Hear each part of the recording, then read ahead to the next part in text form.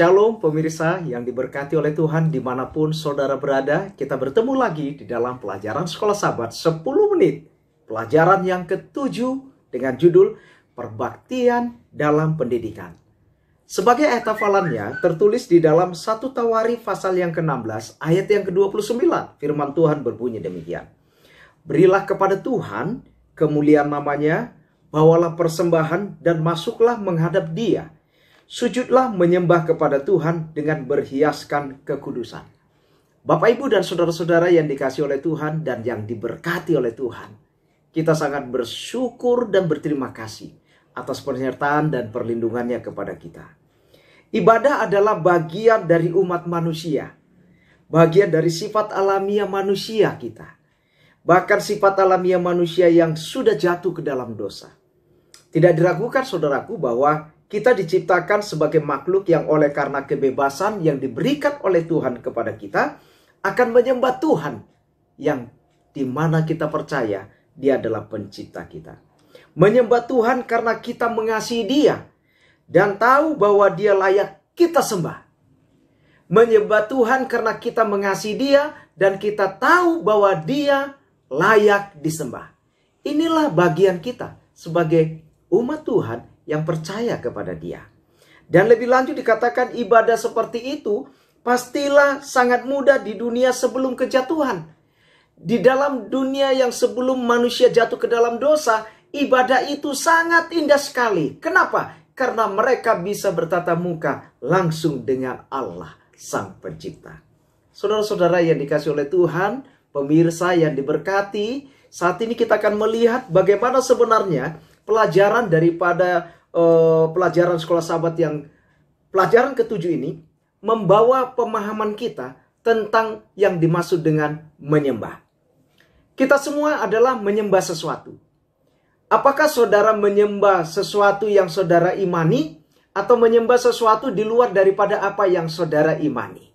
Tetapi yang mau kita bawakan pada hari ini adalah bagaimana kita menyikapi dalam hidup ini sebagaimana saudara dan saya adalah makhluk ciptaan Allah, maka kita harus menyembah Allah yang menciptakan kita. Dikatakan di sini saudara-saudara, saat ini kebanyakan orang terlalu canggih untuk sujud di depan patung katak. Namun ini hampir tidak berarti bahwa manusia, bahkan manusia sekuler sekalipun saudara, tidak menyembah sesuatu tanpa kita sadari, kita boleh saja menyembah sesu sesuatu yang di mana saudara-saudaraku itu adalah jerat setan yang akhirnya tanpa kita sadari kita telah menyembah dia. Apa saja yang bisa menyebabkan kita menjadi seorang penyembah di luar daripada menyembah Allah? Uang, saudara-saudara. Kekuatan, seks, ya diri mereka sendiri, diri kita, ya. Lalu apalagi kita idolakan bintang rock, kita idolakan artis, kita idolakan aktor, kita idolakan politisi. Begitu banyak hal yang boleh saja tanpa kita sadari kita menyembah mereka. Tetapi apakah Allah menginginkan hal seperti itu? Allah menginginkan kepada kita supaya kita menyembah hanya Allah yang sebagai pencipta dan kita adalah ciptaan. Saudara-saudara yang dikasih oleh Tuhan, pemirsa yang diberkati, ibadah, peribadatan yang pantas sangat penting sehingga pada kenyataannya dikatakan itu menjadi pusat masalah di hari-hari terakhir sebelum kedatangan Kristus yang kedua kali. Karena itu dikatakan pendidikan Kristen perlu memasukkan seluruh pertanyaan tentang ibadah. Apa itu? Bagaimana kita melakukannya? Mengapa itu penting dan siapa yang kita sembah? Ini empat hal yang perlu kita tanya di dalam diri kita mengenai tentang ibadah yang kita lakukan. Di mana dikatakan apa itu ibadah? Bagaimana kita melakukannya? Mengapa itu penting dan siapa yang kita sembah? Terlebih Bapak Ibu dan saudara-saudara yang dikasih oleh Tuhan di masa pandemi COVID-19 ini. Begitu rindunya kita untuk beribadah, di satu tempat yang sudah nyaman selama ini di sebuah gereja. Tetapi oleh karena pandemi COVID-19 ini, Saudara dan saya mungkin masih menggunakan daring, ya, menggunakan internet ataupun menggunakan Zoom dan lain sebagainya. Bapak, Ibu, dan saudara-saudara yang dikasih oleh Tuhan, itu tidak akan mengurangi makna dari kita menyembah Allah. Tetapi kita melihat dulu bagaimana sebenarnya rencana Allah kepada manusia melalui bangsa Israel. Saudara-saudara, kita Mazmur di Perjanjian Lama berperan dalam kehidupan keagamaan pada zaman Israel kuno. Dikatakan bahwa Mazmur dasarnya adalah kumpulan puisi, lirik lagu-lagu, dan kata Ibrani untuk Mazmur adalah tehilim. Berarti lagu-lagu pujian. Dan ketika kita menyatakan, menyanyikan pujian untuk Tuhan, apa pun yang sedang kita lakukan, kita sedang menyembah Tuhan. Ketika saudara bernyanyi di dalam hati tentang lagu pujian, saudara telah menyembah Tuhan. Ketika engkau bersama dengan saudaramu, keluargamu, anak-anakmu, bernyanyi, memuji dan memuliakan nama Tuhan, engkau sudah menyembah Tuhan. Bapak, Ibu, dan saudara-saudara yang dikasih oleh Tuhan Yesus Kristus, ada satu ketetapan tertentu tentang pekabaran di dalam Mazmur pasal yang ke-78. Di ayat yang kedua dikatakan, Asap menjelaskan bagaimana kita akan membagikan hal yang tersembunyi sejak zaman purbakala.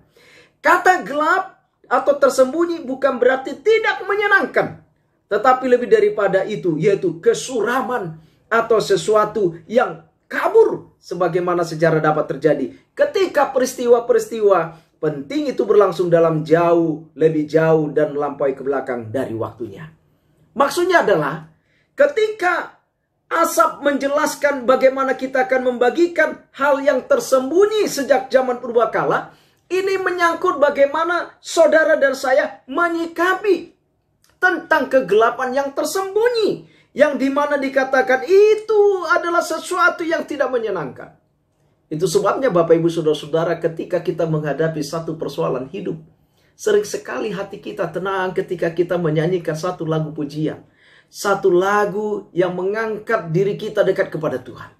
Sehingga perasaan kita mengalami kegelisahan dalam dunia ini ada satu kuasa yang menunjukkan hati kita. Kedamaian ketika memuji, menyembah, memuliakan nama Tuhan. Saudara-saudara yang dikasih oleh Tuhan, kita juga harus beribadah di dalam roh dan kebenaran. Penyembahan yang benar kepada Tuhan harus dalam roh dikatakan. Yaitu harus berasal dari kasih Allah. Dari pengalaman mengenalnya secara pribadi. Saudaraku yang dikasih oleh Tuhan. Saudara menyembah Tuhan itu harus memiliki pengalaman secara pribadi. Pengalaman yang intim kepada Tuhan. Maka itu akan merasakan hubungan yang indah melalui ibadah di dalam roh. Dikatakan lebih lanjut di sini saudara-saudara. Agama yang berasal daripada Allah ialah satu-satunya agama yang akan menuntun kepada Allah. Kalau ada sesuatu yang kau sembah itu tidak menuntun kepada Allah, engkau harus tinggalkan itu. Karena agama yang berasal daripada Allah ialah satu-satunya agama yang menuntun kepada Allah. Siapa Allah itu? Dialah sang pencipta saudara dan saya. Dikatakan lebih lanjut lagi saudara-saudara, untuk dapat berbakti kepadanya dengan benar, kita harus dilahirkan dari roh ilahi. Ini akan menyucikan hati serta memperbarui pikiran kita. Memberikan kepada kita suatu kesanggupan yang baru untuk mengenal serta mengasihi Allah. Dan akan diberikannya kepada kita suatu penurutan sukarela kepada segala tuntutannya. Inilah perbaktian yang benar. Itulah hasil kerja roh kudus di mana jika kita memiliki hubungan yang dekat dan mengenal Allah Sang Pencipta itu. Bapak, Ibu, dan saudara-saudara yang diberkati oleh Tuhan, dikatakan pada saat yang sama juga ibadah harus dalam kebenaran. Maksudnya apa? Kita harus memiliki pengetahuan yang benar tentang Allah. Milikilah pengetahuan yang benar tentang Allah. Milikilah pengetahuan tentang Allah itu sangat mengasihi saudara dan saya tentang siapa dia dan apa yang dia tuntut dari kita. Dengan kata lain, doktrin juga terlibat dikatakan. Betapa berartinya misalnya mengetahui bahwa kita menyembah Allah yang tidak membakar orang di neraka untuk selama-lamanya. Ada orang dikata mengatakan bahwa Allah itu kejam. Orang jahat nanti neraka akan dibakar selama-lamanya. Artinya disiksa. Allah itu bukan seperti demikian. Tetapi Allah adalah Allah yang begitu mengasihi saudara dan saya. Bapak, Ibu, dan saudara-saudara yang dikasih oleh Tuhan, tempat berbakti adalah merupakan tabernakel. Tempat di mana Allah tinggal bersama Israel kuno pada zaman dulu. Dan tempat di mana rencana keselamatan telah dinyatakan kepada mereka. Jadi ingat, pusat untuk menyembah dan pusat untuk pendidikan ibadah haruslah Yesus. Dan rencana keselamatan yang semuanya telah diberitahukan melalui pelayanan di kemah pertemuan.